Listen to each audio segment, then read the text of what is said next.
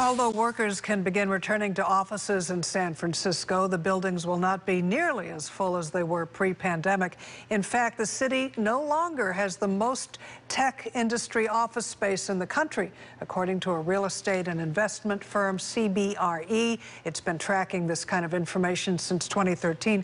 San Francisco fell from number one for the first time, now ranks number six.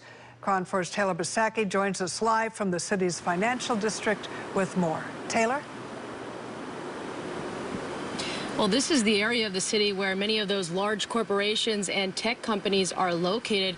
As we mentioned, though, many of these office spaces remain closed, even though San Francisco is in that orange tier that allows them to be open up to 25% capacity. So as you can imagine, these closures are taking a huge toll on the businesses that rely on that workweek foot traffic. It's been extremely slow. We only have one of our eight restaurants in the financial district open. And even that one restaurant is doing about 20% of our normal sales. Steve Sarver owns Ladle and Leaf, formerly known as the San Francisco Soup Company. Pre COVID, they had 13 Bay Area locations.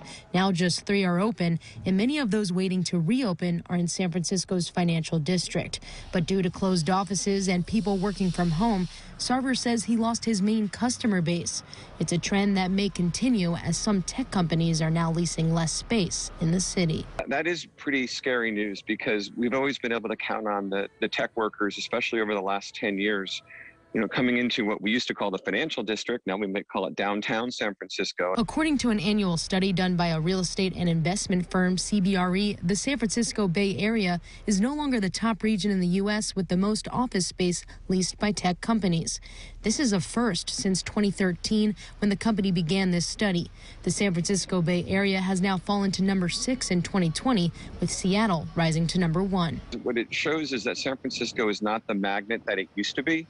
And I'm concerned that there could be a permanent shift in the way that workers think about coming to downtown San Francisco to work and the way businesses think about the need or the desire to open and operate in downtown San Francisco or even the Bay Area. This news is a serious concern for other restaurant owners like Tony Marcel, who's a partner at Wayfare Tavern.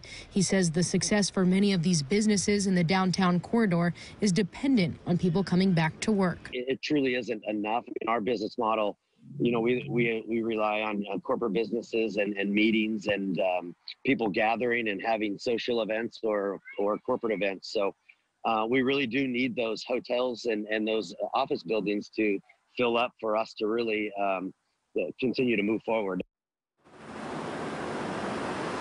Well, here in San Francisco and the Bay Area, we've seen this study play out over the last year. For example, companies like Tesla uh, are heading to Texas, and we've also seen Dropbox sell its Mission Bay building. Meanwhile, companies like Twitter are allowing employees to permanently work from home. So, Taylor, I know the study takes leased office space into consideration. Does that suggest a lot of companies in San Francisco will close their city offices permanently?